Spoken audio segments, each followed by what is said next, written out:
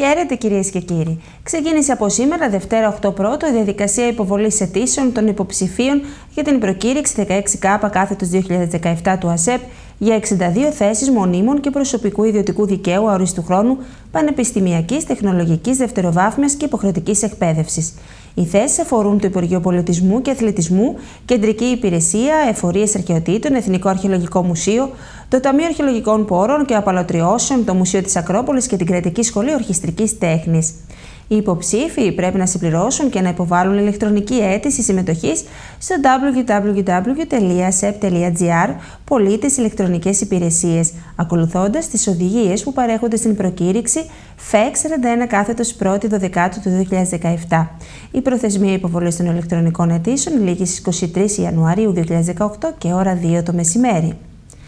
Στην τελική ευθεία μπαίνει η κατάθεση του πολυνομοσχεδίου με όλα τα προαπαιτούμενα, με κεντρικό στόχο της κυβέρνησης την επιτάχυνση των ενεργειών για σταθεροποίηση και περαιτέρω ενίσχυση της πορείας ανάκαμψη της ελληνικής οικονομίας και την έξοδο από τα μνημόνια τον Αύγουστο του 2018.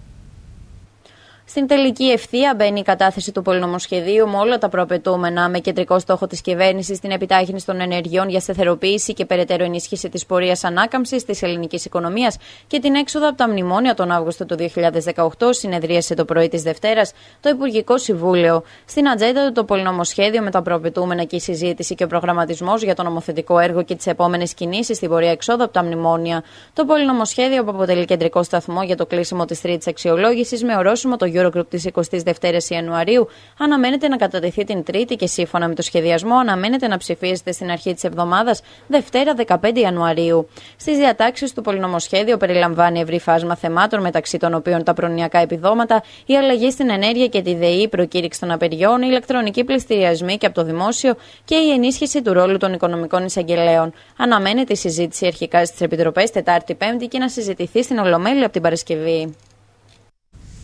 Το 2018 είμαι βέβαιος ότι θα είναι για όλους μια χρονιά ορόσημο, μια χρονιά σταθμός, ένα έτος γεμάτο προκλήσεις που για να μπορέσουν να ελοποιηθούν με τον θετικότερο τρόπο χρειάζεται σκληρή δουλειά για να είναι και ένα έτος δικαίωσης του ελληνικού λαού. Τόνισε ο Λέξη Τσίπρας, μιλώντας στο Υπουργικό Συμβούλιο, για να σημειώσει. Ολοκληρώνουμε τη διαδικασία της τρίτης αξιολόγησης και περνάμε στο τελευταίο κεφάλαιο του προγράμματος Δημοσιονομικής Προσαρμογής, που συμφωνήσαμε υπό γνωστές συνθήκες το καλοκαίρι του 2015. Η τρίτη αξιολόγηση κλείνει χωρίς ούτε ένα ευρώ νέα δημοσιονομικά μέτρα, τόνισε μεταξύ άλλων Αλέξης Τσίπρας, επισημένοντας ότι ποτέ ξανά δεν έχει ολοκληρωθεί τέτοια διαδικασία χωρίς να προσθεθούν νέα μέτρα.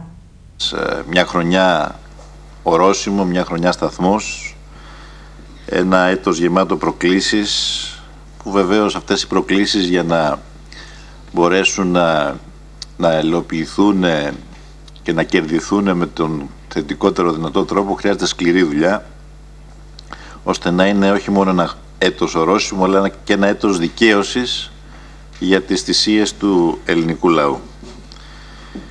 Νομίζω ότι μπήκε με καλούς ιονούς το 18, ιδιαίτερα στον τομέα της οικονομίας. Μέσα στο επόμενο διάστημα και με ορόσημο αυτή τη συνεδρίαση την κρίσιμη του Eurogroup 22 του Γενάρη ολοκληρώνουμε τη διαδικασία της τρίτης αξιολόγησης και περνάμε στο τελευταίο κεφάλαιο του προγράμματος δημοσιονομικής προσαρμογής που συμφωνήσαμε υπό γνωστές συνθήκες το καλοκαίρι του 2015. Και έτσι κλείνουμε έναν πολύ μεγάλο κύκλο, μακροχρόνιο κύκλο επιτροπίας για τη χώρα που ξεκίνησε από το Μάιο του 2010 όταν η χώρα μας αποκλείστηκε από τις αγορές χρήματος. Ο αποκλεισμός αυτός δεν ήρθε φυσικά τυχαία, ήταν το αποτέλεσμα στρεβλών πολιτικών επιλογών δεκαετιών που άφησαν τη χώρα μας έρμεο των ε, συνεπειών μιας παγκόσμιας χρηματοπιστωτικής κρίσης που χτύπησε την Ελλάδα πιο βία από κάθε άλλη χώρα του κόσμου. Πολλά μπορεί να πει κανείς για τις ε, αιτίες αυτής της εξέλιξης. Πρώτα απ' όλα μια οικονομία με σαθρή βάση, χωρίς αναπτυξιακό σχέδιο, με διαχρονική υστέρηση στον τομέα των εσόδων.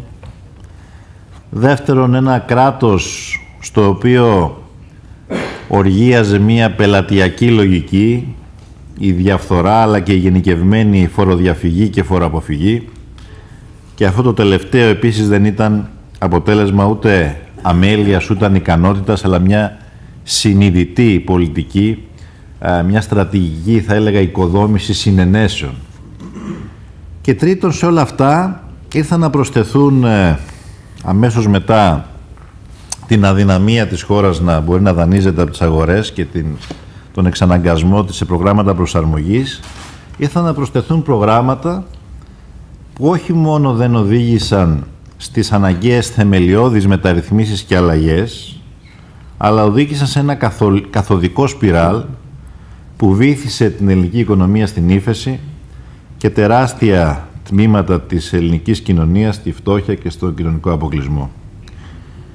Εμείς προσπαθήσαμε κατά τη διάρκεια της διαπραγμάτευσης του 2015 να αντιστρέψουμε την, πορά, την ε, φορά αυτών των πολιτικών επιλογών. Δεν καταφέραμε βεβαίως όσα θα θέλαμε, αλλά πετύχαμε ένα πρόγραμμα που δεν μπορεί ούτε καν να συγκριθεί με τα δύο προηγούμενα. Και τούτο διότι λάβαμε υπόψη μας όχι μόνο τα μεγέθη τα οικονομικά, τα δημοσιονομικά, αλλά και την κοινωνία και τις ανάγκες της κατά τη διάρκεια της διαπραγμάτευσης.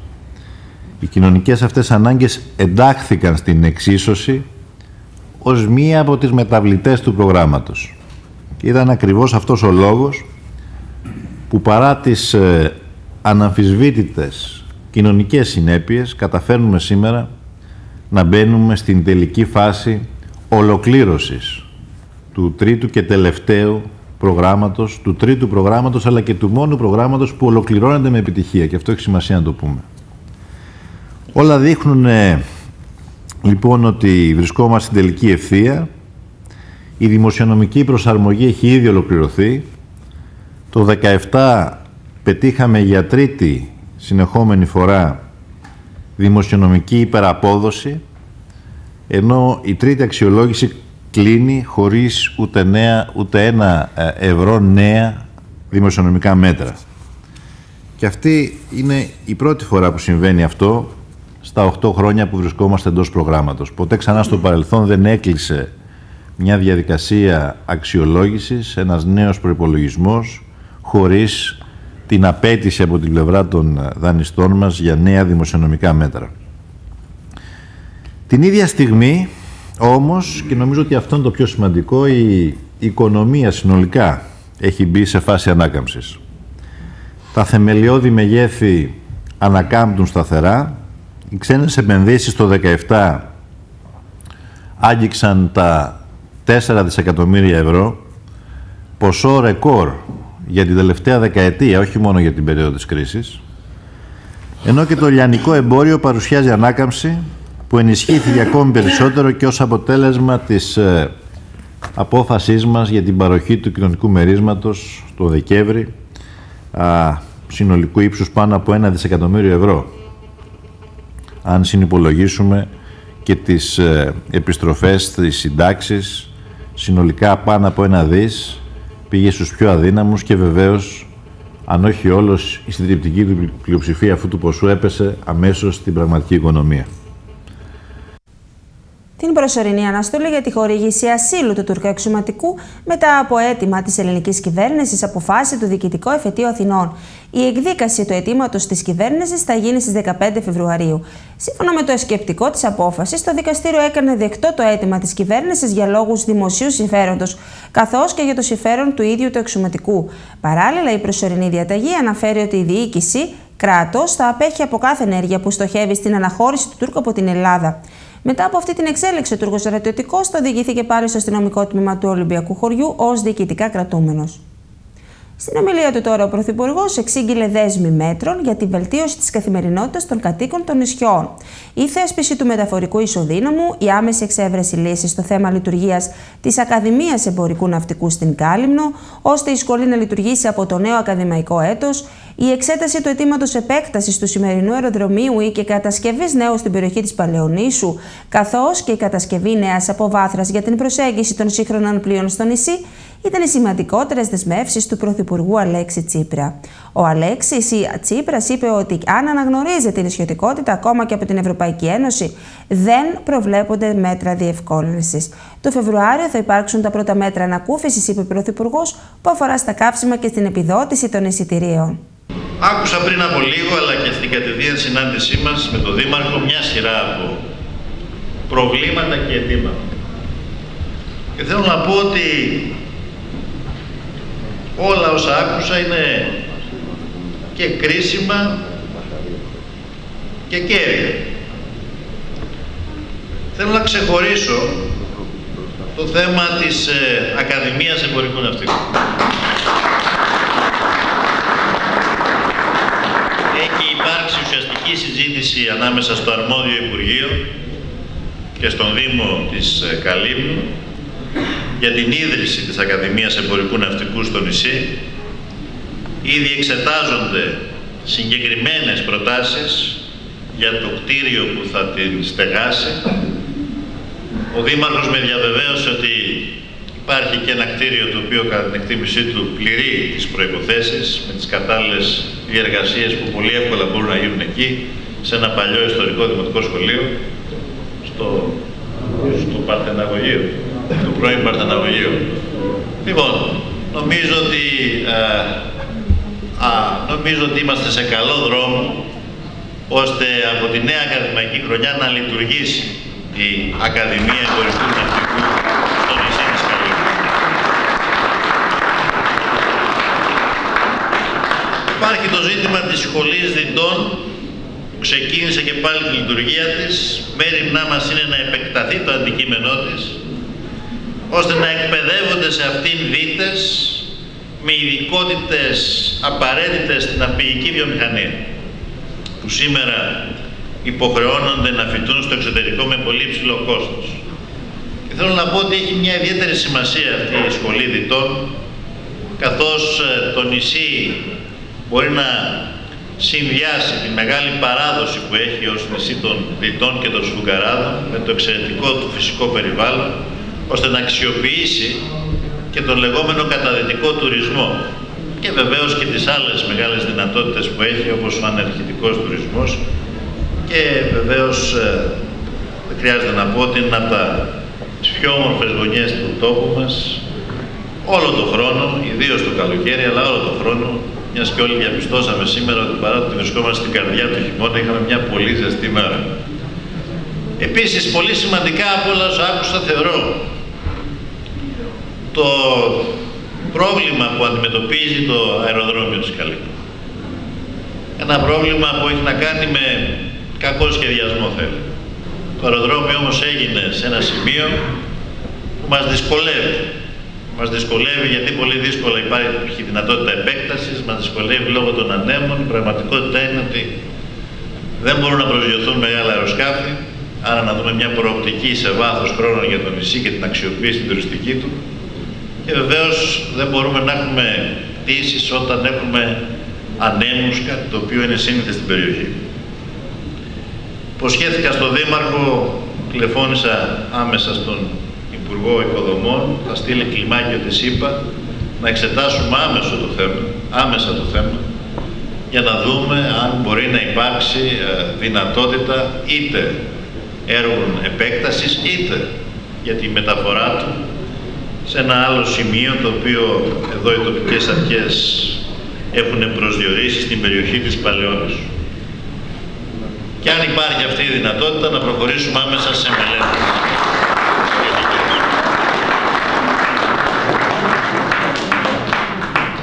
Θετικά επίσης αντιμετωπίζουμε το ζήτημα της κατασκευής μιας νέας αποβάθρας για την εξυπηρέτηση των νέων και πιο σύγχρονων πλοίων που με δυσκολία σήμερα προσεγγίζουν το λιμάνι της Καλύπου. Ένα έργο το οποίο θα φροντίσουμε, θα, θα, θα εξαντλήσουμε κάθε δυνατότητα προκειμένου να μπορέσει να ενταχθεί στα προγράμματα α, είτε στο πρόγραμμα δημοσίων επενδύσεων, είτε μέσα σε κάποια χρηματοδότηση του ΕΣΠΑ. Είναι ένα μικρό αλλά σημαντικό έργο για την ε, Κάλυμνο καθώς είναι κρίσιμο να μπορούν τα πλοία να πιάνουν με οποιοδήποτε καιρό το λιμάνι της Καλύπου.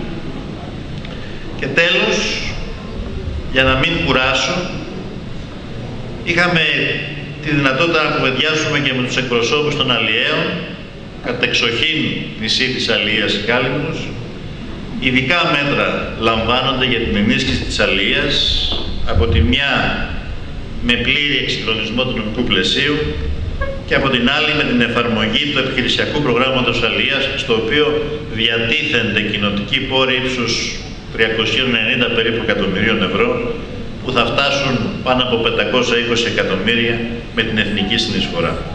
Ξεκινούν και πάλι τόσο οι ηλεκτρονικοί πληστηριασμοί όσο και η συμβατική στερεονεδικία μεθαύριο Τετάρτη. Μετά τη λήξη της αναστολής τους, στην οποία έχει προβεί ο Συμβολογραφικός Σύλλογος Αθηνών, Πυραιός, Αιγαίου και Δωδεκανήσου.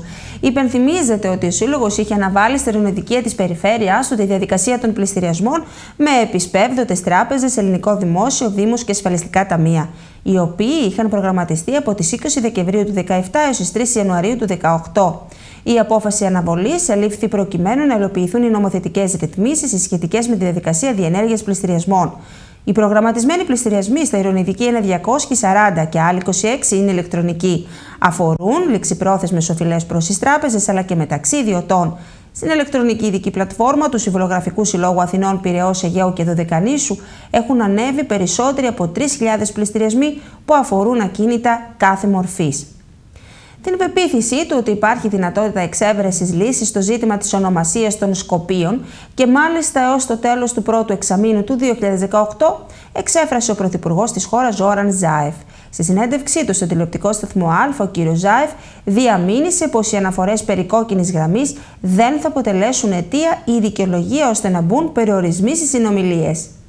Αναρωτιέμαι, είστε τόσο ισχυρός στο εσωτερικό της χώρας σας ώστε να μπορέσετε να λύσετε ένα τόσο περίπλοκο θέμα. Έχετε πει ότι για το αγκανθώδες αυτό θέμα της ονομασίας θα προσφύγετε σε δημοψήφισμα. Dobro, mene mi je jasno koliko je seriozno ova prašanje i дека mora со Грција да разговараме на партнерски однос. Мене ми е важна подршката од граѓаните На мојата земја, но секако ми е важна и подршката и на опозицијата. Во целиот овој период, буквално уште од седницата кога бев избран за премиер и бира на мојата влада, јас повикав на соработка со опозицијата. Секојдневно градам и односи на соработка во опозицијата по многу важни прашања за граѓаните, како што се реформските процеси, но истовремено градеме прашања и за, сето, за сето она што представува национален интерес на нашата заедничка земја, без разлика дали сме власт или опозиција, а еден од најзначајните наши интереси е градење на добра соработка со нашите соседи и секако членството во Европската Унија и НАТО. И во тој дел јас сум убеден дека опозицијата ќе даде позитивен придонес во изнаоѓањето на решан, решение на проблемот кој што го имаме, кој што Грција го има со нашето уставно име, во насока на изнаоѓање на решение, не во насока на негово блокирање, заради тоа што сум убеден дека и најголемата опозициона партија го препознава моментот на изградена пријателска атмосфера и на позитивни сигнали кои што стигат од сите соседни земји, но стигат и од пријателска е, Република Грција, дека сега е вистински момент заедно да донесеме одлуки кои што Македонија ќе ја упата директно во полноправно членство во Европската Унија и НАТО.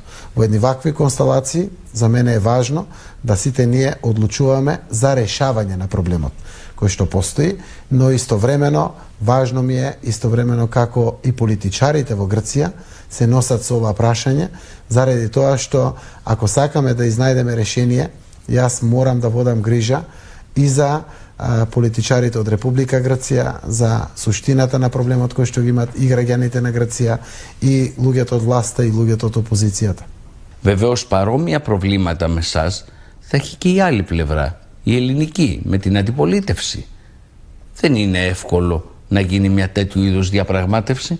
Добро, јас знам дека не е, не е лесно исто така и во вашата земја да се разговара за униф, унисоно заедничко решение на сите политички субјекти и од владеачките структури, но вклучително и од опозицијата но она кое што би сакал само да го кажам како порака, иако немаме некои посебни пораки во врска тоа, е дека и за власта и за опозицијата во Грција, како што и за власта и за опозицијата во Македонија, е дека треба да постои добар дух, со добра волја за навистина нашите две земји да градат и во идина пријателство и верувам дека со навистина ако добро бидеме посветени, разговараме во внатрешните кругови, дефинитивно сум убеден дека постои решение за секој еден проблем. веројатно она која што и господинот Каменос го даде во една изјава дека ако постои усогласеност помеѓу сите политички структури и субјекти и тој би бил на страна на решението. Јас верувам и тоа за мене е една позитивна надеж, заради тоа што јас би сакал да се сретнам исто така и со господинот Каменос, но и со господинот Мицотакис, кој што е шеф на опозицијата во Грција, од кога прво ќе се сретнам со премиерот Алексис Ципрас, но за да објаснам колку тоа е можно да се изнајде решение за овој проблем и колку тоа ќе биде во полза на двете земји.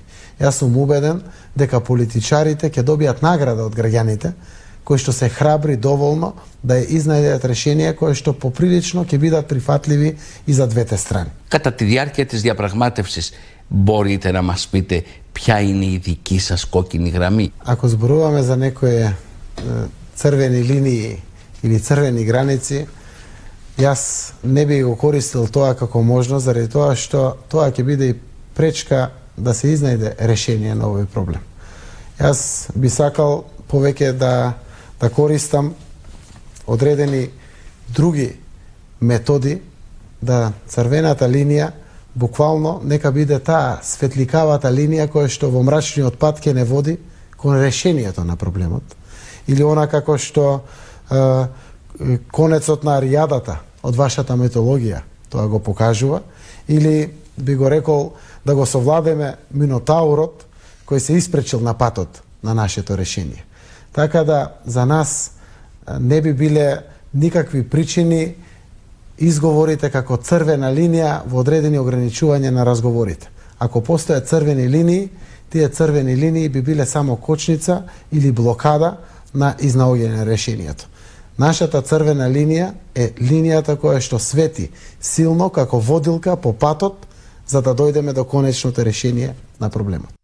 Κάλεσμα στην κυβέρνηση να μείνει πιστή στην εθνική γραμμή που αποφάσισε το Συμβούλιο των Πολιτικών Αρχηγών το 1992 αναφορικά με την ονομασία των Σκοπίων, στην οποία δεν θα περιέχεται η λέξη Μακεδονία, απευθύνει ο Μίκης Θεοδωράκης. Σε ανάρτησή του στην προσωπική του ιστοσελίδα σημειώνει πως τυχόν υποχώρησε από αυτή τη γραμμή θα έχει ολέθρια αποτελέσματα για το μέλλον της χώρας μας δεδομένου ότι μετά την οχταετή καταλήστευση του ελληνικού λαού που μας οδήγησε στην σημερινή δραματική κατάσταση, το μόνο που μας απομένει είναι η διαφύληξη της εθνικής μας ακαιρεότητας. Ο γνωστός μουσικοσυνθέτης σημειώνει ακόμη πως η κυβέρνηση των Σκοπίων απειλεί χωρίς προσχήματα την ακαιρεότητα της πατρίδας μας. Άγνωστοι προσπάθησαν να βάλουν φωτιά παραμονή της πρωτοχρονιάς στην οικία του Εμμανουήλ Καπετανάκη. Το κτίριο που φιλοξενεί από το 1922 το ελληνικό προξενείο στην Σμύρνη. Το περιστατικό έγινε γνωστό έπειτα από την επίσκεψη του βουλευτή Χίου του ΣΥΡΙΖΑ Ανδρέα Μιχαηλίδη, ο οποίος επισκέφθηκε παραμονή των φώτων της Σμύρνη. Άγνωστοι προσπάθησαν να βάλουν φωτιά παραμονή της πρωτοχρονιάς στην οικία του Εμμανουήλ Καπετανάκη, το κτίριο που φιλοξενεί από το 1922 το ελληνικό προξενείο στη Σμύρνη. Το περιστατικό έγινε γνωστό έπειτα από την επίσκεψη του βουλευτή Χίου του ΣΥΡΙΖΑ, Ανδρέα Μιχαηλίδη, ο οποίος επισκέφθηκε παραμονή των φώτων στη Σμύρνη. Σύμφωνα με το πολιτισχύο.gr, ο βουλευτής κατηγόρησε τις τουρκικές αρχές για απάθεια, σημειώνοντας ότι η Ελλάδα τιμά τη φιλία με τους γείτονές της, αλλά ξέρει να στέκεται απέναντι στις προκλήσεις και να απαντά με τον τρόπο που επιτάσσει το διεθνές δίκαιο. Το περιστατικό επιβεβαιώνει και το ελληνικό προξενείο της Μύρνης, χαρακτηρίζοντάς το ως ένα φλιβερό αλλά μεμονωμένο περιστατικό για το οποίο οι τουρκικές αρχές διεξάγουν έρευνες για τον εντοπισμό των δραστών. Πλήθος Παλαιστίνιων διαδηλωτών επιτέθηκε στο αυτοκίνητο του Πατριάρχη Ιερουσαλήμων Θεόφιλου Γάμα την ώρα που προσερχόταν για τη λειτουργία των Θεοφανίων στη Βιφλεέμ. Πλήθος Παλαιστίνων διαδηλωτών επιτέθηκε στο αυτοκίνητο του Πατριάρχη Ιερουσαλήμων Θεόφιλου του Τρίτου την ώρα που προσερχόταν για τη λειτουργία των Θεοφανίνων στη Βιθλέμ. Το γεγονός προκάλεσε μεγάλη εντύπωση, καθώς δεν έχει ξανασημειωθεί τέτοια επιθετικότητα από την πλευρά των Παλαιστινίων προς το Πατριαρχείο, με το οποίο παραδοσιακά υπήρχαν άριστες σχέσεις. Οι διαδηλωτές που διαμαρτύρονται για την απόφαση του Πατριαρχείου να πουλήσει γη σε εβραϊκές κοινότητες επιτέθηκαν στο αυτοκίνητο πετώντας μπουκάλια και πέτρες, ενώ κάποιοι εξ αυτών χτυπούσαν το όχημα με τις μπουνιές τους, φωνάζοντας το προδότη-προδότη πρωτού απομακρυνθούν από τις ε, Παλαιστινιακές δυνάμεις ασφαλείας. Περισσότεροι από 300 μετανάστες από την υποσαχάρια Αφρική κατάφεραν χθες το απόγευμα να περάσουν από την μεταλλική περίφραξη 6 μέτρων που χωρίζει το Μαρόκο και τον Ισπανικό θύλακα της Μελίγια, με αποτέλεσμα κάποιοι από αυτούς και ένας αστυνομικός να τραυματιστούν, ανακοίνωσε η τοπική κυβέρνηση. Περισσότεροι από 300 μετανάστες από την υποσαχάρια Αφρική κατάφεραν χθες το απόγευμα να περάσουν από τη μεταλλική περίφραξη 6 μέτρων που χωρίζει το Μαρόκο και τον Ισπανικό θύλακα της Μελίγια, με αποτέλεσμα κάποιοι από αυτούς και ένας αστυνομικός να τραυματιστούν, ανακοίνωσε η τοπική κυβέρνηση. Συνολικά 209 μετανάστες κατάφεραν να εισέλθουν στο Ισπανικό έδαφος. Ένας αστυνομικός τραυματίστηκε όταν δέχτηκε επίθεση από ένα μετανάστη, ανακοίνωσε η Ισπανική κυβέρνηση, ενώ τέσσερις μετανάστες που εισήλθησαν στην Ισπανία μεταφέρθηκαν ελαφρά τραυματισμένοι στο νοσοκομείο νοσοκομείο. Σύμφωνα με τα στοιχεία της Frontex, περίπου 22.900 άνθρωποι έφτασαν παράνομα στην Ισπανία το 2017, αριθμός υπερδιπλάσιος συγκριτικά με το 2016. Ο Γάλλος πρόεδρος Εμμανουέλ Μακρόν απέτησε την Κυριακή φοροτιμή στη μνήμη των 17 ανθρώπων που έχασαν τη ζωή τους στις επιθέσεις του Παρίσι πριν από τρία χρόνια, οι οποίες σηματοδότησαν την έναρξη μιας σειράς τρομοκρατικών χτυπημάτων στη Γαλλία. Ο Γάλλος πρόεδρος Εμμανουέλ Μακρόν ε, απέτησε την Κυριακή φόρο τιμή στη μνήμη των 17 ανθρώπων που έχασαν τη ζωή τους στις επιθέσεις στο Παρίσι πριν από τρία χρόνια, οι οποίες σημα... σηματοδότησαν την έναρξη μιας σειράς τρομοκρατικών χτυπημάτων στη Γαλλία.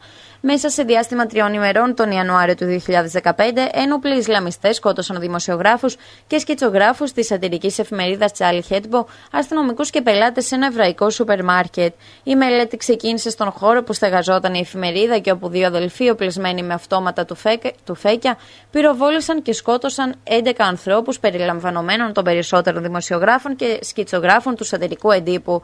Μετά την ανάγνωση των ονομάτων των θυμάτων έγινε κατάθεση Στεφάνου στην είσοδο του κτηρίου. Μεταξύ άλλων, Στεφάνια κατάθεσε ο πρόεδρος Μακρόν και η δήμαρχος της πρωτεύουσα Άννη Νταλκό. Φόρο τιμής απέτησαν συγκεντρωμένοι και στη μνήμη του αστυνομικού, ο οποίος πυροβολήθηκε εξ επαφής και σκοτώθηκε από ένα από τους ενόπλους σε απόσταση λίγων μέτρων μετά την είσοδο του κτηρίου. Ανάλογη τελετή πραγματοποιήθηκε αργότερα και στο εβραϊκό σούπερ μάρκετ από τρίτο ένοπλο, ο οποίος σκότωσε τέσσερις ανθρώπους στην επίθεση στο Τσάρλι Χέτμπο, πραγματοποίησαν τα αδέλφια Σάιτ και Σερίφ Κουατσί, οι οποίοι δύο μέρες αργότερα σκοτώθηκαν σε επιχείρηση της αστυνομίας. Σε συνέντευξή της στην Κυριακάτικη Κόντρα Νιού, η Υπουργός Αντικειτική Ανασυγκρότησης Όλγα Γεροβασίλη τονίζει: Η Ελλάδα έχει ανάγκη από οικονομική και πολιτική σταθερότητα, από ένα νέο παραγωγικό μοντέλο. Σε συνέντευξή της στην Κυριακάτικη Κόντρα News, η Υπουργός Διοικητικής Ανασυγκρότησης Όλγα Γεροβασίλη τονίζει: Η Ελλάδα έχει ανάγκη από οικονομική και πολιτική σταθερότητα από ένα νέο παραγωγικό μοντέλο. Η κυρία Γεροβασίλη εξηγεί πως έτσι θα δημιουργηθούν οι προποθέσει για μια βιώσιμη και κοινωνικά δίκαιη ανάπτυξη που θα, στις που θα επιτρέψει στις δημιουργικές δυνάμεις της χώρας να εκφραστούν, που θα γυρίσει οριστικά σελίδα για τη χώρα, αποκαθιστώντας το διατηρημένο κοινωνικό ιστό. Αναφερόμενη στην ηγεσία της Νέας Δημοκρατίας, σημειώνει ότι έχει υιοθετήσει υιοθετήσει πλήρως το νεοφιλελευθερισμό, βρίσκεται σε ιδεολογική απόσταση τόσο από την εκλογική της βάση όσο και από τις ιδρυατικέ της αρχές, αυτές του κοινωνικού φιλελευθερισμού. Η Υπουργός Διοικητικής Ανασυγκρότησης προαναγγέλει τη δημοπράτηση σε συνεργασία με το Υπουργείο Ψηφιακής Πολιτικής του ενιαίου συστήματος διαχείρισης ανθρώπινου δυναμικού, μέσω του οποίου να δημιουργηθεί η προσωπική κάρτα κάθε δημοσίου υπαλλήλου και θα καταγραφεί σε πραγματικό χρόνο την υπηρεσιακή του διαδρομή από την, πρόληψη, από την πρόσληψη στην υπηρεσιακή εξέλιξη, τις μετακινήσεις, την εκπαίδευση, την επιμόρφωση, τις εκθέσεις αξιολόγηση, φτάνοντας μέχρι την έκδοση της σύνταξής του. Η κυρία Γεροβασίλη αναφέρει επίσης ότι ολοκληρώνεται τις επόμενες ημέρες η ηλεκτρονική πλατφόρμα αξιολόγησης, ώστε ο κάθε δημόσιος υπάλληλος να έχει άμεση πρόσβαση στις απαιτούμενες διαδικασίες, ενώ επισημαίνει ότι ο στόχος του Υπουργείου είναι να παρέχει στους ανθρώπους της δημόσιας διοίκησης σύγχρονα εργαλεία, τεχνογνωσία και δυνατότητες προσωπικής εξέλιξης, ώστε οι δημόσιες υπηρεσίες να γίνουν πιο φιλικές για τους πολίτες και τις επιχειρήσεις, ικανοποιώντας τις ανάγκες του 21ου αιώνα. Νέα προγράμματα του ΑΕΔ έρχονται το 2018 για να στηρίξουν την απασχόληση χιλιάδων νέων ανέργων ηλικία έως 35 ετών. Σύντομα αναμένεται να δημοσιευθεί το ΦΕΚ και τα πρόγραμμα πρώτης πρόσληψης μισθωτών από αυτοαπασχολούμενους νέους και επιχειρήσεις νέων ηλικίας έως 35 ετών. Πρόκειται για συνολικά 20.000 προσλήψεις και στην περίπτωση που επιχειρηματίες οι οποίοι θα πάρουν μέρος στο πρόγραμμα προχωρήσουν στην πρόσληψη νέων ηλικίας 29 ετών θα έχουν μεγαλύτερα κίνητρα. Εντός του Ιανουαρίου πρόκειται να ξεκινήσει πιλωτικά ακόμη ένα πρόγραμμα σχετικά με τη μετατροπή της μερικής αυταπασχόληση σε πλήρη. Το συγκεκριμένο πρόγραμμα αφορά 3.000 θέσεις εργασίας μέσω της επιχορήγησης ασφαλιστικών εισφορών των εργοδοτών. Βασικός στόχος του προγράμματος δεν είναι άλλος από την αλλαγή της αναλογίας ανάμεσα στη μερική και την πλήρη απασχόληση, ενισχύοντας τη δεύτερη.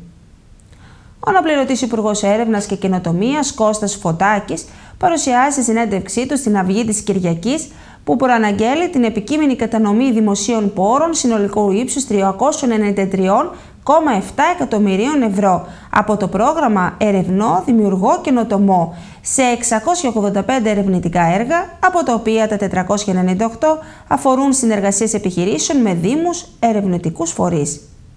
Ο αναπληρωτής Υπουργός Έρευνας και Κοινοτομίας Κώστας Φωτάκης παρουσιάζει σε συνέντευξή του στην Αυγή της Κυριακής τον σχεδιασμό της κυβέρνησης για την ανάπτυξη της λεγόμενης οικονομίας της γνώσης. Ο κ. Φωτάκης προαναγγέλει την επικείμενη κατανομή δημόσιων πόρων συνολικού ύψους 393,7 εκατομμυρίων ευρώ από το πρόγραμμα Ερευνό Δημιουργό Καινοτομό σε 685 ερευνητικά έργα, από τα οποία τα 498 αφορούν συνεργασίες επιχειρήσεων με δημόσιους ερευνητικούς φορείς. Πρόκειται για χαρακτηριστικό παράδειγμα όσον αφορά το ύψος της χρηματοδότησης χρηματοδότησης και υπολογίζεται να στηρίξει περί 4.400 νέες ποιοτικές θέσεις εργασίας. Ποτέ στο παρελθόν δεν έχει υπάρξει τόσο υψηλή χρηματοδότηση, αναφέρει. Ο κ. Φωτάκης σημειώνει ότι ήδη έχει θεσπιστεί επιμέρους μέτρα για την αναστροφή του Brian Drain, καθώς πλέον επιτρέπεται σε νέους επιστήμονες, κυρίως μεταδιδάκτορες, να είναι οι ίδιοι επιστημονικοί υπεύθυνοι των προτάσεων ερευνητικών έργων που υποβάλλουν. Αναφέρεται ακόμη και στην ανάληψη εμβληματικών πρωτοβουλειών από την πολιτεία, όπως η δημιουργία του δικτύου εξατομικευμένης ιατρικής ή ιατρικής ακριβίας με στόχο την έρευνα και τις κλινικές εφαρμογές της για την πρόληψη και θεραπεία του καρκίνου, με σύγχρονες προσεγγίσεις μοριακής ιατρικής προσβάσιμες από το δημόσιο σύστημα υγείας. Προαναγγέλει τέλος νέες νομοθετικές παρεμβάσεις σχετικές με θέματα ηθικής και διοντολογίας στην έρευνα και αξιοποίηση της καινοτομίας, ενώ στους άμεσους στόχους της κυβέρνησης σημειώνει και την προσέλκυση RD τμήματων ξένων και δυναμικά εξελισσόμενων επιχειρήσεων στην Ελλάδα. Νέα συνέντευξή του στα νέα, ο Υπουργός Παιδείας Κώστας Γαβρόλγλου τονίζει: Δεν ισχύει τίποτα από όσα υπόθηκαν περί περιορισμού των σχολικών εκδρομών. Ο κύριος Γαβρόγλου κάνει λόγο για άδικη σπέκουλα, μιλώντας για ανάγκη ορισμένων κομμάτων της αντιπολίτευσης και συγκοινών μέσων μαζικής ενημέρωσης να δημιουργήσουν εκ του μηδενός ένα ζήτημα. Σχετικά με τις εκδρομές, ο κύριος Γαβρόγλου εξηγεί: Η υπουργική απόφαση ενθαρρύνει γενικά τη διοργάνωση εκπαιδευτικών εκδρομών εντός της χώρας σε περιοχές με ιστορικό, αρχαιολογικό, περιβαλλοντικό ενδιαφέρον και φυσικό κάλος δεν απαγορεύει την πραγματοποίηση των πενθήμερων εκδρομών της τελευταίας τάξης του Λυκείου στο εξωτερικό. Δεν αποκλείουμε καμία εκπαιδευτική ή πολιτιστική εκδρομή στο εξωτερικό. Ένα όμως από τα βασικά εφόδια ενός νέου ανθρώπου είναι να γνωρίζει τη χώρα του και τους ανθρώπους της. Εμείς θέλουμε να παροτρύνουμε τα παιδιά να γνωρίσουν τον τόπο τους. Περιορίζονται οι μετακινήσεις στο εξωτερικό που έχουν υψηλό κόστος και χαμηλό εκπαιδευτικό αποτέλεσμα. Η εκπαίδευση είναι για να μειώνει τις ανισότητες και όχι να τις διευρύνει. Μαθήτε τώρα από όλη την Ελλάδα, από την Αθήνα ως τη Ρόδο, από τη Θεσσαλονίκη και τα Ιωάννινα ως την Ήδρα και την Αστυπάλαια, συμμετείχαν στον Πανελλήνιο Εκπαιδευτικό Διαγωνισμό Ανταποδοτικής Ανακύκλωσης και ανακύκλωσαν πάνω από 2.000 συσκευές. Μαθητές από όλη την Ελλάδα, από Αθήνα έως τη Ρόδα, από Θεσσαλονίκη και τα Ιωάννενα έως την Ήδρα και την Αστεπάλαια συμμετέχουν στο Πανελλήνιο Εκπαιδευτικό Διαγωνισμό Ανταποδοτικής Ανακύκλωσης και ανακύκλωσαν πάνω από 2, εκατομμύρια συσκευασίες. Για μία ακόμη φορά, μαθητές από σχόλια όλης της χώρας ανταποκρίθηκαν στο κάλεσμα του Εθνικού Συλλογικού Συστήματος Ανταποδοτική Ανακύκλωση και ανακύκλωσαν εκατομμύρια πλαστικές, μεταλλικές και γυάλινε συσκευασίες στα σπιτάκια ανταποδοτικής ανακύκλωσης από 1η Δεκάτου έως 20 Δεκάτου. Η ενεργή συμμετοχή των νέων αυτών ανθρώπων στο Πανελλήνιο Εκπαιδευτικό Διαγωνισμό Ανακύκλωσης αποτελεί το πιο αισιόδοξο μήνυμα για την περιβαλλοντική εκπαίδευση της νέας γενιάς. Οι μαθητές είχαν τη δυνατότητα να ανακυκλώνουν στα υψηλής τεχνολογίας μηχανήματα που βρίσκονται στα σπιτάκια ανταποδοτικής ανακύκλωσης και να συγκεντρώνουν τα κουπόνια συμμετοχής στο διαγωνισμό, ο οποίος πραγματοποιήθηκε από την αιγίδα του Μακριωτάτου Αρχιεπισκοπικού Αθηνών και Πάση Ελλάδος Ερώνυμου και σε συνεργασία με την Αποστολή. Τα τρία σχολικά τμήματα που επέστρεψαν τις περισσότερες συσκευασίες κερδίζουν τα πιο συναρπαστικά δώρα που θα μπορούσαν μπορούσαν να φανταστούν. Το Α3 από το 10ο Γυμνάσιο Ανίνων ανακύκλωσε 487.181 συσκευασίες και κερδίζει ταξίδι 4 ημερών στο Ροβανιέμι της Λαπωνίας με επίσκεψη στο χωριό του Άι Βασίλη και ένα τάμπλετ. Το Α3 από το Μαρούλιο Κατσίκα Ιωαννίνων ανακύκλωσε 184.111 συσκευασίες και κερδίζει ταξίδι 4 ημερών στη Ρόδο και ένα smartwatch. Το Σίγμα TAF 2 από το 13ο Δημοτικό Σχολείο Ρόδο ανακύκλωσε 151.537 συσκευασίες και κερδίζει ένα ποδήλατο και μία action κάμερα.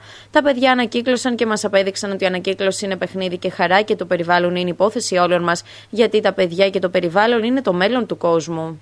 Τον τομεάρχη τουρισμού της Νέας Δημοκρατίας, βουλευτή του Δεκανήσου Μανο Κόνσολα, δέχτηκε την Δευτέρα στο γραφείο του Περιφερειάρχης Νοτιού Αιγαίου Γιώργος Χατζημάρκος.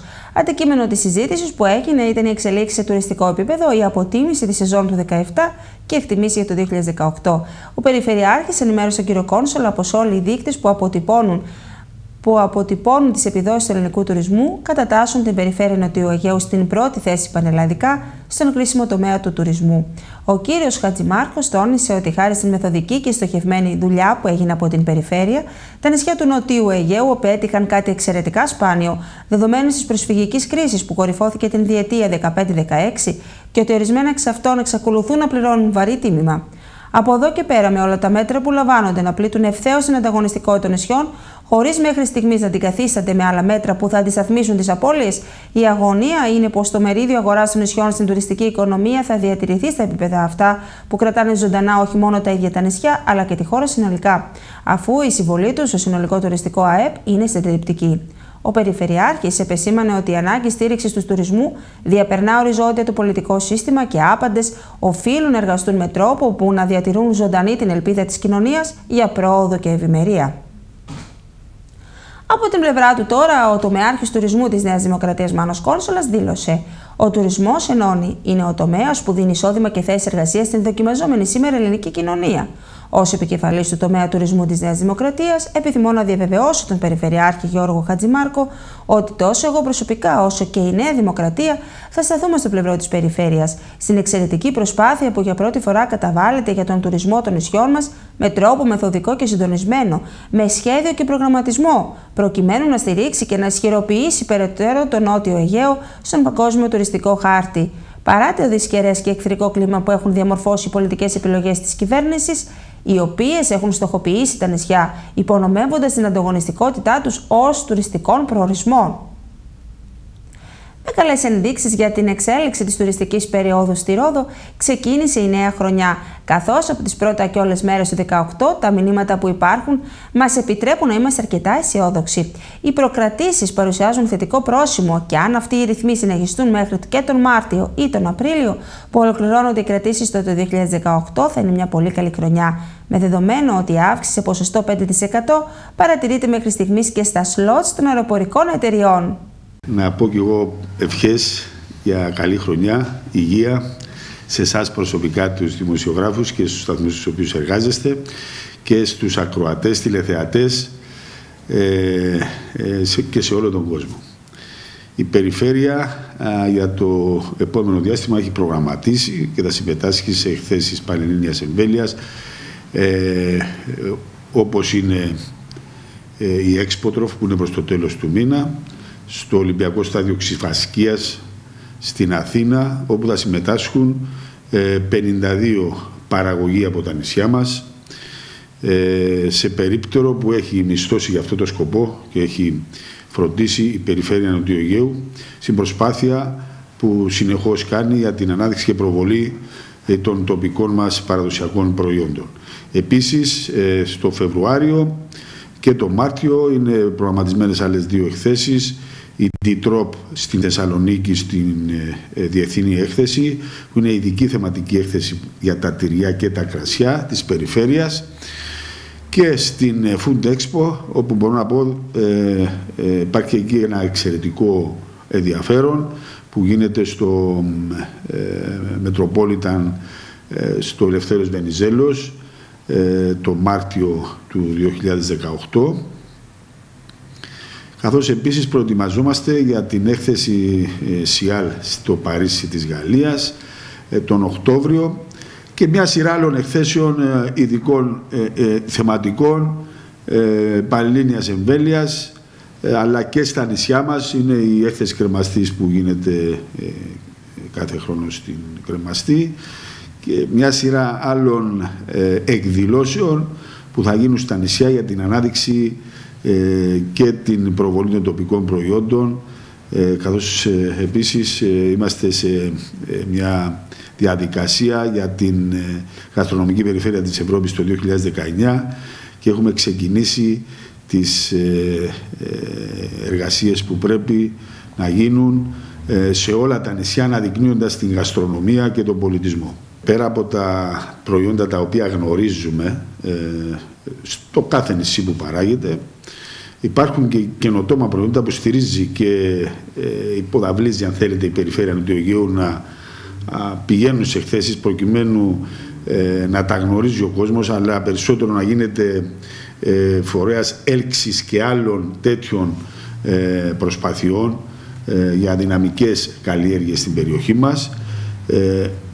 Να σας πω δύο συγκεκριμένα παραδείγματα. Έχουμε το, τα μπισκότα από βελανίδι που παράγονται στην ΚΕΑ με πάρα πολύ δυναμική ε, καλλιέργεια και προσπάθεια που γίνεται από συγκεκριμένη επιχείρηση εκεί, παραγωγούς και επιχείρηση. Πρώτη φορά το ακούω. Ναι, καθώς επίσης και εδώ στην ε, περιοχή των Δωδεκανήσεων, στους Λιψού, που παράγεται ένα εξαιρετικό τυρί από βουβάλι, από επιχειρηματία που και από φαρμαδόρο θα έλεγα, στους Λιψούς που έχει και εκτρέφει βουβάλια ε, και ε, αγελάδες ε, και ε, άλλα ζώα, αρμέγι και έχει και τυροκομείο αδειοδοτημένο από την περιφέρεια. Σε ένα τόσο μικρό νησάκι. Σε ένα τόσο μικρό νησάκι είναι πολύ δυναμική η παραγωγή, ο πρωτογενής τομέας του λειψούς. Έχει και ενωπείο το μικρό νησί αυτό των, των Δωδεκανήσων και παράγει εξαιρετικά προϊόντα. Όλα, όλα μας τα νησιά παράγουν εξαιρετικά προϊόντα, η περιφέρεια είναι κοντά στους παραγωγούς, τα αναδεικνύει, τα προβάλλει, είναι σε διαρκή συνεργασία και συνεννόηση μαζί τους ε, με στόχο την ε, ε, αναβάθμιση του πρωτογενή τομέα στα νησιά. Ξεκινούν σήμερα οι χειμερινές εκπτώσεις του 2018, οι οποίες θα λήξουν την Τετάρτη 28 Φεβρουαρίου του 2018. Οι καταστηματάρχες θα πρέπει σε περίπτωση ελέγχου να είναι σε θέση να αποδείξουν ότι η παλαιά τιμή πώλησης που αναγράφεται στην πινακίδα ανταποκρίνεται στην πραγματικότητα. Ειδικότερα η ΕΣΕ σημειώνει ότι κατά την διενέργεια των εκπτώσεων, εκτός από την αναγραφή της παλαιάς και της νέας μειωμένης τιμής των αγαθών και υπηρεσιών που πολλούνται με έκπτωση, επιτρέπεται και η αναγραφή και εμπορική επικοινωνία ποσοστού έκπτωσης. Αυλαία σήμερα Δευτέρα 8 Ιανουαρίου των χειμερινών εκπτώσεων του 2018, οι οποίες θα λήξουν την Τετάρτη 28 Φεβρουαρίου. Όπως επισημαίνει η Ελληνική Συνομοσπονδία Εμπορίου και Επιχειρηματικότητας σε επιστολή της προς τους εμπορικούς συλλόγους και τι Ομοσπονδίε μέλη, ο τρόπος με τον οποίο υπολογίζεται και προβάλλεται η μειωμένη τιμή πρέπει να ανταποκρίνεται στην αλήθεια και να μην είναι ανακριβής. Οι καταστηματάρχες θα πρέπει σε περίπτωση ελέγχου να είναι σε θέση να αποδείξουν ότι η παλιά τιμή πώλησης που αναγράφεται στην πινακίδα ανταποκρίνεται στην πραγματικότητα. Ειδικότερη ΕΣΕ σημειώνει κατά τη ενέργεια των εκτόσεων εκτός από την αναγραφή της παλαιάς και της νέας μειωμένης τιμής των αγαθών και υπηρεσιών που πολλούνται με έκπτωση, επιτρέπεται και η αναγραφή και εμπορική επικοινωνία ποσοστού έκπτωσης. Εφόσον παρέχεται η μειωμένη τιμή σε περισσότερα από τα 60% του συνόλου των πολλούμενων ειδών, η επίδειξη του παρεχόμενου ποσοστού έκπτωσης επιβάλλεται, ο οποίο θα πρέπει να αναγράφεται στην προθήκη του καταστήματος και σε οποιαδήποτε άλλη εμπορική επικοινωνία, ενώ στην περίπτωση που υπάρχουν διαφορετικά ποσοστά έκπτωσης ανακατηγορίες προϊόντων, θα πρέπει να αναγράφεται το έβριστο παρεχόμενο ποσοστό σε κάθε άλλη περίπτωση θα αναγράφεται ότι οι εκπτώσεις αφορούν επιλεγμένα είδη με αναφορά στο αντίστοιχο ποσοστό. Κατά τη διενέργεια των τακτικών εκπτώσεων απαιτείται ιδιαίτερη προσοχή από τους καταστηματάρχες γιατί οι κυρώσεις είναι αυστηρές όπως σημειώνει η ΕΣΕ. Γενικά στους παραβάτες των διατάξεων περί εκπτώσεων επιβάλλεται πρόστιμο ποσού ίσου με το 0,5% του ετήσιου κύκλου εργασιών και πάντως όχι κατώτερο το 5.000 ευρώ. Σε περίπτωση που επιβληθεί για δεύτερη φορά πρόστιμο για τον ίδια παράβαση μέσα σε διάστημα 5 ετών, το πρόστιμο αυξάνεται στο 3% του ετήσιου κύκλου εργασιών της συγκεκριμένης επιχείρησης. Ειδικότερα για την περίπτωση που εκτόσει είναι ανακριβείς ή παραπλανητικές ως προς το ποσοστό τους, ως προς την ακρίβεια των αναγραφωμένων τιμών ή ως προς την ποσότητα των προσφερόμενων με έκπτωση προϊόντων ή όταν ενέχουν οποιαδήποτε μορφή απόκρυψη ή παραπλάνηση, επιβάλλεται πρόστιμο ποσού ίσου με το 1% του ετήσιου κύκλου εργασιών και πάντως όχι κατώτερο από 10.000 ευρώ ανάλογα με τη βαρύτητα και τη συχνότητα της παράβασης. Σε περίπτωση που επιβληθεί για δεύτερη φορά πρόστιμο για την ίδια παράβαση μέσα σε διάστημα 5 ετών, το πρόστιμο αυξάνεται στο 3% του ετήσιου κύκλου εργασιών της συγκεκριμένης επιχείρησης. Τέλος, υπενθυμίζεται ότι καταστήματα μπορούν να ανοίξουν προαιρετικά την πρώτη Κυριακή κατά την έναρξη της χρονικής περίοδου των εκπτώσεων, δηλαδή την Κυριακή 14 Ιανουαρίου, με ωράριο από 11 έως 8 ξεκίνησε η υλοποίηση των έργων ανταποδοτικού χαρακτήρα της ΔΕΗ στη Νότια Ρόδο. Πραγματοποιήθηκε σύσκεψη στα γραφεία των τεχνικών υπηρεσιών του Δημορόδου με τη συμμετοχή του Δημάρχου Φώτη Κατζηδιάκου, του Προέδρου της ΔΕΙΑΡ Αλέξανδρου Μανολάκη, μελών του Διοικητικού Συμβουλίου της Δημοτικής Επιχείρησης και στελεχών της ΔΕΗ, με στόχο τον συντονισμό των διαδικασιών. Συνολικά η ΔΕΗ θα υλοποιήσει 9 έργα στην περιοχή, 8 στην Καταβιά και 1 στο Γενάδι.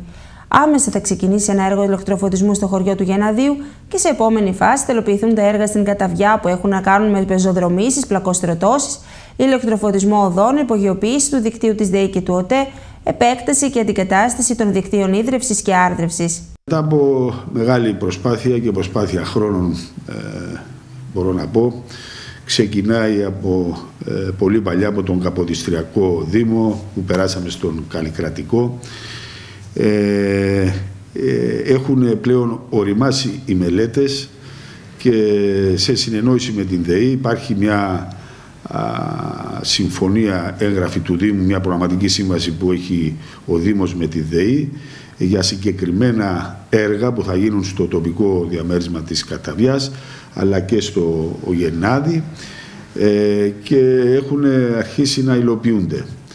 Ε, από ό,τι ενημερώνουμε. Ε, είμαστε ε, σε μια έτσι έχω επικοινωνία ε, απευθείας με τον Δήμαρχο και με τον Πρόεδρο της τοπικής κοινότητας εκεί. Έχουν ξεκινήσει τα έργα. Νομίζω ότι έχει ξεκινήσει πρώτο η, η, η, η καλωδίωση η υπόγεια καλωδίωση των όλων των καλωδίων που υπάρχουν της ΔΕΗ. Ναι. Ε, υπογειοποίηση των καλωδίων. Ε, από ό,τι γνωρίζω ε, έχει ολοκληρωθεί η διαδικασία της δημοπράτησης των έργων που έχουν να κάνουν με την αποχέτευση και την ε, αλλαγή του δικτύου ίδρευσης ε, στην τοπική κοινότητα. Και μια σειρά άλλων έργων πολιτιστικού περιεχομένου, ανάδειξης κτηρίων που είναι στην τοπική κοινότητα, είναι σε είμαστε πολύ κοντά προκειμένου να, και αυτά να δημοπρατηθούν. Ε, η ενημέρωση που έχω από τον κύριο Δήμαρχο είναι ότι είμαστε σε πολύ καλό σημείο. Ε, η ενημέρωση επίσης από τον κοινοτάρχη είναι ότι έχουν ξεκινήσει η υπογειοποίηση των καλωδίων, εργάζεται αυτές τις μέρες, είναι σε εξέλιξη το έργο, αλλά από ό,τι είδα και βλέπω και από το διαδίκτυο, ε, αυτό που σας είπα σχετικά με την, ε, ε, τα δίκτυα της αποχέτευσης και την αντικατάσταση του δικτύου της ίδρυυσης. Έτσι ότι από ό,τι έχει γραφεί και στον τύπο ότι πρόκειται να ξεκινήσει δοκιμαστικά σε λίγο διάστημα πριν μπει στην πλήρη λειτουργία. Είναι και όμως πλέον γίνεται όσοι πληρούν τις προϋποθέσεις της προκήρυξης και προηγούνται πάντα οι κάτοικοι της περιοχής, της Καταβίας. Στις 12, 13 και 14 Ιανουαρίου θα πραγματοποιηθεί στην Τίνο η 37η εθελοντική αιμοδοσία, αφιερωμένη στη μνήμη του Νικολάου Κορνάρου, τέους Δημάρχου Τίνου. Στις 12, 13 και 14 Ιανουαρίου θα πραγματοποιηθεί στην Τίνο η 37η εθελοντική αιμοδοσία αφιερωμένη στη μνήμη του Νικολά Κορνάρου, Δημάρχου Τίνου. Την αιμοδοσία διοργανώνει ο Δήμος Τίνου, διοργανώνει σε συνεργασία με το κλιμάκιο αιμοδοσίας του νοσοκομείου Πέδων Αγίας Σοφία. Η χώρη που θα πραγματοποιηθεί είναι στην ενοραϊκή αίθουσα Αγίου Νικολάου τοπικής κοινότητας Στενή την Παρασκευή 12 Πρώτου 2018 από τις 4 έως τις 8. Το κέντρο Υγείας Τίνου το Σάββατο 13 Πρώτου από 9 έως 2 και το απόγευμα από 4.30 έως 8.30. Επίσης την Κυριακή 14 Πρώτου από 9 έως 2.30 μετά μεσημβρία στην ενοριακή αίθουσα Αγίου Ιωάννου τοπικής κοινότητας Κόμης στην Παρασκευή 12 Πρώτου από τις 4.30 έως τις 8.30. Σε μήνυμα του ο Δήμαρχος Τίνου Ιωάννης Σιώτος αναφέρει «Σας καλούμε να ανταποκριθείτε στην προσπάθειά μας για την ανάπτυξη της εθελοντικής αιμοδοσίας ως πράξη αλτρουισμού, κοινωνικής ευαισθησίας και συμμετοχής. Οι ανάγκες των ασθενών συμπολιτών μας για αίμα υπερβαίνουν τη μέχρι τώρα προσφορά. Είναι το αγαθό της ζωής που μόνο με τη συμμετοχή σας μπορεί να προσφερθεί. Ενημερώστε τους φίλους και γνωστούς σας για να ενισχύσουμε με νέους εθελοντές αιμοδότες στη Δημοτική Τράπεζα Αίματος. Μπορεί ο Διεθνής Μαραθώνιος Ρόδου συγγνώμη, να διεξάγεται στι 29 Απριλίου, όμως οι ενδιαφερόμενοι δρομή έχουν τη δυνατότητα από τώρα να εξασφαλίσουν την παρουσία τους στο σημαντικό αυτό αθλητικό γεγονός. Καταρχάς, πέραν από τα 42.195 μέτρα, υπάρχουν οι αποστάσεις του ημεμαραθώνιου, τα 5 και 10 χιλιόμετρα, καθώς επίσης και τα 1000 μέτρα για μαθητές και μαθήτρε δημοτικών σχολείων. Έτσι, ο καθένας, αναλόγως των δυνατοτήτων του, έχει την ευκαιρία να πάρει μέρος στην αθλητική αυτή γιορτή. Ξεκινάμε το 2018. Ο τουρισμός, ο αθλητισμός και ο πολιτισμός γίνονται ένα πράγμα με σκοπό ε, να μπορέσουμε να αναδείξουμε τα νησιά μας μέσα από τον αθλητισμό και τον πολιτισμό, ε, προβάλλοντας μέσα από τον τουρισμό αυτά τα διάφορα γεγονότα και τις διάφορες δράσεις που θα κάνουμε ε, και, και στον αθλητισμό και στον πολιτισμό. Το μεγαλύτερο γεγονός στον αθλητισμό είναι ο Μαραθώνιος της Ρόδου, ο οποίος θα γίνει στις 29 Απριλίου και καλούμε όλο τον κόσμο να αρχίσει να προπονείται για να πάρει μέρος όχι μόνο στα 42 χιλιόμετρα, αλλά και στα 21 και στα 5 και στα 10 ε, ή να ξεκινήσει σιγά σιγά από τα 5 και σιγά σιγά να φτάσει και στα 42 χιλιόμετρα. Ε, υπάρχει μια μεγάλη κινητοποίηση αυτή τη στιγμή από την περιφέρεια Νοτιού Αιγαίου όσον αφορά τον αθλητισμό και στις Κυκλάδες και στα Δωδεκάνησα. Ήδη έχουμε ξεκινήσει. Σήμερα έγινε η πρώτη μας συνάντηση με το ΣΕΓΑ Δωδεκανήσου ε, και έχουμε προγραμματίσει αγώνες σχεδόν σε όλα τα νησιά του Νοτιού Αιγαίου. Ε, ξεκινώντας ε, από τη Ρόδο, αλλά και στην Κό και στη Λέρο και στην Κάλυμνο και σχεδόν σε όλα τα νησιά θα γίνουν αγώνες έτσι ώστε να μπορέσουμε να αναπτύξουμε τον αθλητικό τουρισμό και το αθλητικό πνεύμα στα νησιά μας. Αυτή τη στιγμή είμαστε σε συζητήσεις. Υπάρχουν αρκετές προσωπικότητες που έχουν δείξει ενδιαφέρον και θέλουν να έρθουν στο μαραθώνιο, στο μαραθώνιο της Ρόδου. Ε, αυτό, το, το, αυτό το οποίο υπάρχει φέτος είναι ότι ο πρώτος αθλητής στο μαραθώνιο και ο πρώτος αθλητής στο ημιμαραθώνιο ε, θα, ε, θα πάρει ένα χρηματικό έπαθλο των χιλίων ευρώ. Είναι ακριβώς η διαδρομή. Νομίζω ότι πέρυσι είχε μια, ήταν, ήταν ο αγώνας εξαιρετικός, είχε, είχε ε, πολύ μεγάλη επιτυχία. Ε, και από τη στιγμή που είχε πολύ μεγάλη επιτυχία κρατάμε το ίδιο μοτίβο ε, και απλώς γινόμαστε ε, καλύτεροι στο οργανωτικό κομμάτι που επίσης ήταν πολύ καλό, πολύ καλό πέρυσι. Αυτή τη στιγμή στις 20 με 27, 20, με 27 Ιανουαρίου είναι η έκθεση BOOT που είναι μια θεματική έκθεση στο Düsseldorf. Η Περιφέρεια Νοτιού Αιγαίου παίρνει μέρος με γύρω στα 7 νησιά και περισσότερο επαγγελματίες. Στοχεύουμε στον καταδυτικό τουρισμό ε, και στον ε, τουρισμό ε, με σκάφη. Πάμε, σε αυτή την έκθεση θα πάει ο ΕΟΤ και εμείς. Εμείς πάμε με ανεξάρτητο περίπτερο, όμως όμορο με, το, με, τη, με τον ΕΟΤ. Ε, υπάρχει μια μεγάλη κινητικότητα αυτή τη στιγμή. Υπάρχουν πολλοί επαγγελματίες οι οποίοι θέλουν να πάρουν μέρος και παίρνουν μέρος. Ε, ήταν μια απόφαση την οποία πήραμε τελευταία στιγμή, γιατί δεν είχαμε έγκριση λόγω της ημερομηνίας. Ε, τελικά καταφέραμε και μπορέσαμε να πάμε, κλείσαμε το περίπτερο και αυτή τη στιγμή έχουμε γύρω, στις, ε, γύρω στα 7 νησιά με 15 περίπου ή 15 με 17 συμμετοχές από επαγγελματίες ε, με, που ασχολούνται με τον καταδυτικό τουρισμό και με θαλάσσια σπορ, αλλά ο καταδυτικός είναι το μεγαλύτερο αυτή τη στιγμή ε, ε θαλάσσιο σπορ που αντιπροσωπεύεται τέλος πάντων από επαγγελματίες. Ε, στη συνέχεια έχουμε, στο, έχουμε διάφορες εκθέσεις, σας τις έχω ξαναπεί, νομίζω οι περισσότεροι γνωρίζετε. Είναι στο Μιλάνο, στο Παρίσι, στο Βερολίνο, στη Ρωσία. Σίγουρα του Βερολίνου είναι η μεγαλύτερη έκθεση. Το βαρόμετρό, το βαρόμετρό μας, όπου ουσιαστικά εκεί, πέρα από το Λονδίνο, που πήραμε την πρώτη, την πρώτη εικόνα, ε, ουσιαστικά εκεί θα, ε, ουσιαστικά βλέπουμε το πώς πάει η σεζόν. Δηλαδή το πώς έχει κλείσει η σεζόν. Και από εκεί και πέρα είναι το τι αεροπλάνα θα... Ε, ό,τι, ό,τι, ό,τι προγραμματισμός έχει γίνει μέχρι τότε, ε, ουσιαστικά θα πιστοποιηθεί στο Βερολίνο. Δηλαδή το τι αεροπλάνα θα κλειστούν, το τι κόσμος θα έρθει, θα τα δούμε όλα εκεί. Ε, αυτή τη στιγμή φαίνεται ότι θα είναι μια χρυσή σεζόν, μια αντίστοιχη σεζόν του 2017, βέβαια αντίστοιχη σε νούμερα, σε ε, αριθμό τουριστών. Ε, τώρα, όσον αφορά σε, σε τιμές, πιστεύουμε ότι θα, είναι σε καλύτερες, ε, θα, θα, έχουμε, θα έχουν αυξήσει τις τιμές τους οι ξενοδόχοι, διότι είχαν μπροστά τους μια καλή σεζόν και υπήρχε, η, υπήρχε ε, η, το όραμα, υπήρχε η δυνατότητα ε, το ξέραν δηλαδή αυτό, ότι το 2018 θα, πήγαινε, θα ήταν μια καλή σεζόν επίσης. Οπότε πιστεύω ότι έχουν αυξήσει τις τιμές τους, οπότε θεωρώ ότι θα έχουμε και μια καλύτερη σεζόν και σε επίπεδο ε, οικονομικού περιεχομένου. Η γοητευτική κομμόπολη του νομού Ιωαννίνων, 64 χιλιόμετρα βόρεια της πόλης, είναι αμφιθεατρικά χτισμένη στην πλαγιά του βουνού Τραπεζίτσα και έχει θέα την πεδιάδα της Κόνιτσας, όπου συναντώνται τρεις ποταμοί, ο Βοηδομάτης, ο Αός και Σαραντόπορος. Η γοητευτική κομμόπολη του νομού Ιωαννίνων, 64 χιλιόμετρα βόρεια της πόλης, είναι αμφιθεατρικά χτισμένη στην πλαγιά του βουνού Τραπεζίτσα και έχει θέα την πεδιάδα της Κόνιτσας, όπου συναντώνται τρεις ποταμοί, Βοηδομάτη, Άος και Σαραντάπορο.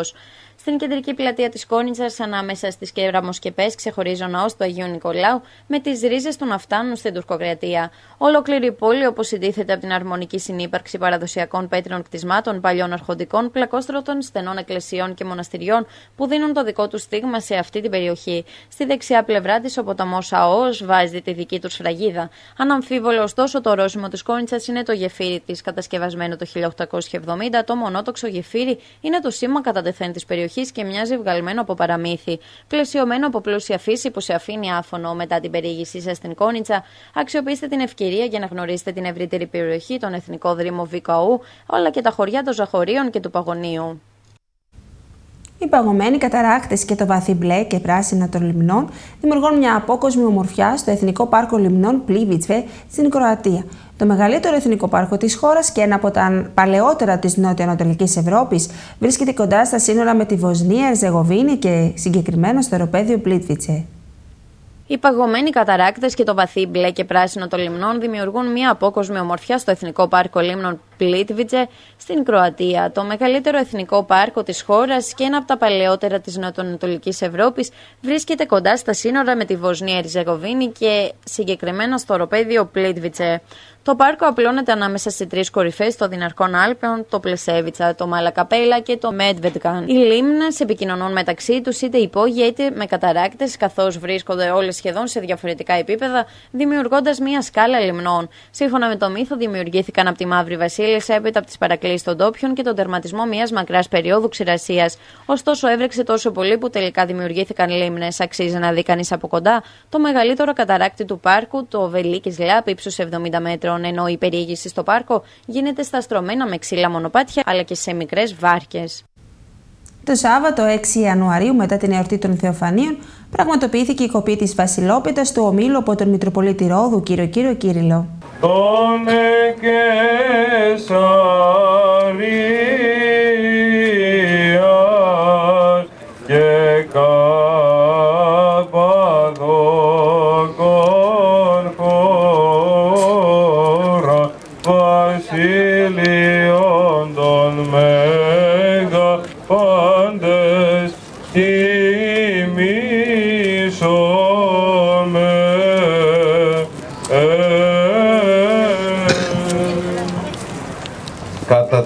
το πρώτο κομμάτι το βγάζουμε στο όνομα του Χριστού και το δίνω σε εσάς κύριε Πρόεδρε με την ευχή το νέο έτος 2018 να είναι για εσάς προσωπικά, για τους συνεργάτες σας, για όλα τα παιδιά τα οποία ασκούνται στο ναυτικό όμιλο, να είναι έτος ειρήνης, χαράς, υγείας, επιτυχίας γεμάτο από την ευλογία και τη χάρη του Θεού. Καταρχήν να, να σας ευχαριστήσω, να ευχαριστώ Σεβασμιότο, Μητροπολίτη κύριο, κύριο Κύριλο και το θεοφιλέστατο ε, κύριο, κύριο Κύριλο, ε, τον κύριο ε, Δήμαρχο, τον εκπρόσωπο της Περιφέρειας, τον, ε, τον κύριο Τζίμι, το ξέρω στο το, το, το, κολλάκι το υπόλοιπό σας, ε, και όλους τους άλλους που, μας, ε, που, που το, λιμεναρχείο, το λιμεναρχείο που είναι άμεσος ε, συνεργάτης μας, μας βοηθάει πάρα πολύ. Ε, είναι, είναι το δεξί μας χέρι. Ευχαριστούμε πάρα πολύ όλους σας. Και εγώ τις ευχές μου με τις ευχές και τις ευλογίες του σεβασμιωτάτου μας για καλή χρονιά, για υγεία και δύναμη και αισιοδοξία ότι αυτός ο χρόνος θα μας φέρει αυτά που προσδοκούμε όλα τα προηγούμενα χρόνια και να είστε σίγουροι ότι θα το παλέψουμε και θα το προσπαθήσουμε. Γιατί, Γιατί αξίζει αυτός ο τόπος με αυτούς τους ανθρώπους. Δέστε που βρισκόμαστε, σε ποιο περιβάλλον; Η Εκκλησία, η Περιφέρεια, ο Δήμος, το Εθνικό, αυτά εδώ λοιπόν τα κτίρια αγαπητέ Πρόεδρε, το ΝΟΡ, με αυτό λέω, Αυτό εννοώ. Και εδώ θα καταλήξω, επειδή την αγάπη μου την έχεις δεδομένη. Λοιπόν, εγώ θέλω να σας ευχαριστήσω από καρδιάς, από το τυπικό να σας συγχαρώ, για τη σπουδαία προσπάθεια και τη δουλειά που κάνετε. Οι πόρτε της περιφέρειας Νοτιού Αιγαίου είναι έμπραχτα ανοιχτές. Το έχουμε αποδείξει και αν χρειαστεί θα το αποδείξουμε και στο μέλλον όπως ακριβώς πρέπει και όπως ακριβώς σας αξίζει. Εύχομαι ο Ούριος άνεμος που πνέει στις καρδιές αυτού του Διοικητικού Συμβουλίου να, να φουσκώσει τα πανιά σας και να φέρετε πολλές νίκες στον τόπο μας. Είμαι, είμαι πολύ χαρούμενος και περήφανος που βρίσκομαι σε ένα από τα πιο ιστορικά σωματεία και παλιότερο, έτσι, του, του νησιού μας. Να έχετε υγεία και να έχετε και δύναμη.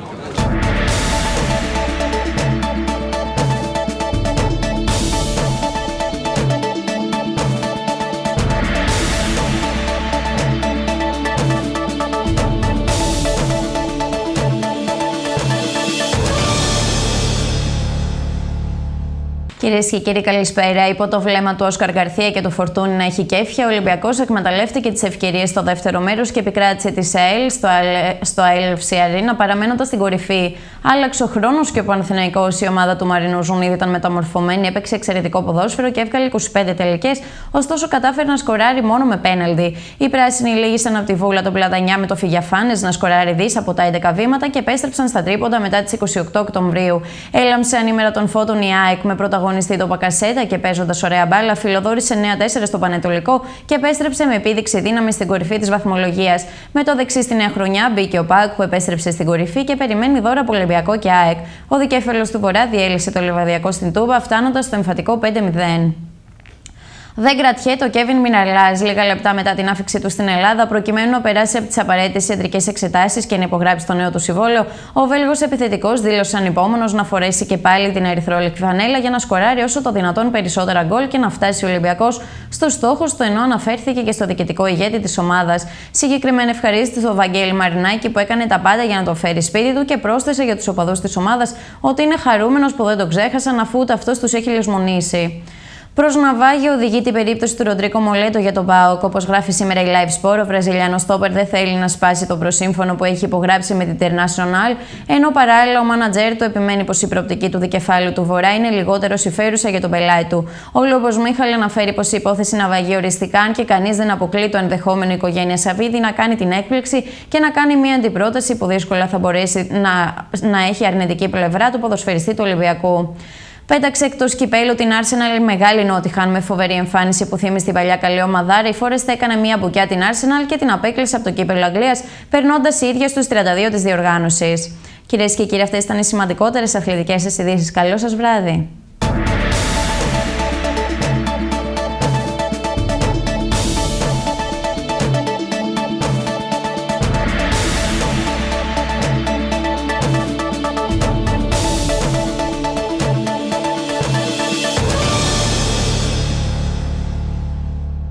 Εδώ ολοκληρώθηκε το κεντρικό δελτίο ειδήσεων της τηλεόρασης Αιγαίο. Από όλους εμάς, ευχές για ένα όμορφο βράδυ.